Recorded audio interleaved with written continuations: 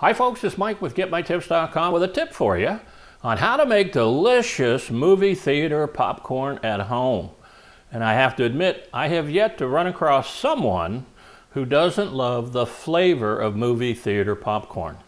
Well, on this video, we're going to show you how to make that movie theater popcorn at home and perhaps make it a little bit healthier.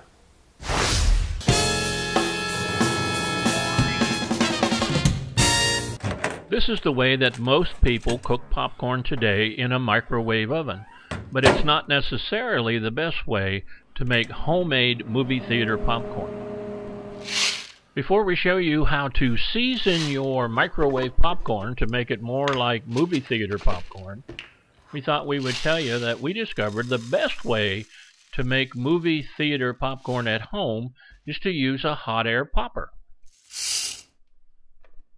Using a hot air popcorn popper is just a little bit healthier because no oil is needed to pop the popcorn. Whatever method you use to make your popcorn, the odds are pretty good that you're going to have some leftover uncooked popcorn kernel. A good way to separate the popcorn from the uncooked kernels is to use a small sheet pan with a small sheet pan rack. The small rack has little holes that allow the kernels to fall through.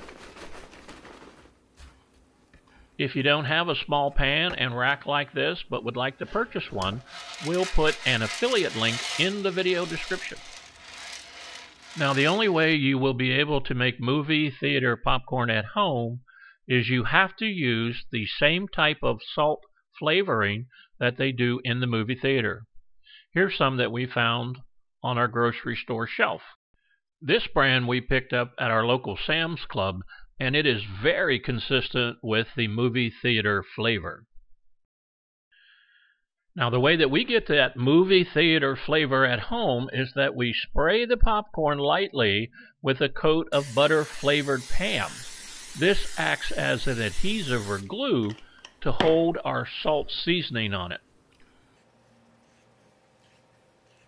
Then we put another sheet pan on top, flip it over, and do the same on the other side. Mm-mm-mm. When's the movie start? Mm-mm-mm. Well, there you go, folks. Delicious movie theater popcorn at home, and it couldn't be easier. Now, if you learned something here today, I invite you to subscribe so that when we post another video, you'll be notified. Thanks for watching.